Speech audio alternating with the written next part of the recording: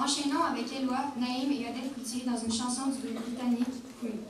Écrite par Freddie Mercury et dédiée par lui à Mary Austin, sa grande, amie et fiancée, Love of My Life, était tellement appréciée en concert de Freddie Mercury, été souvent de la chanter pour laisser le public le prendre le relais.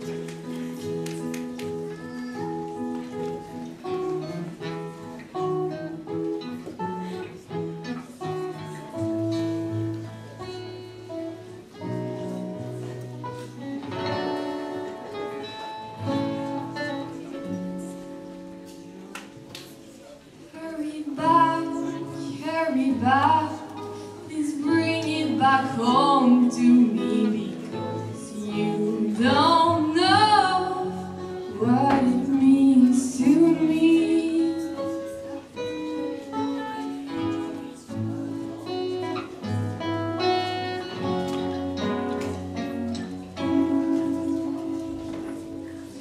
Love of my life.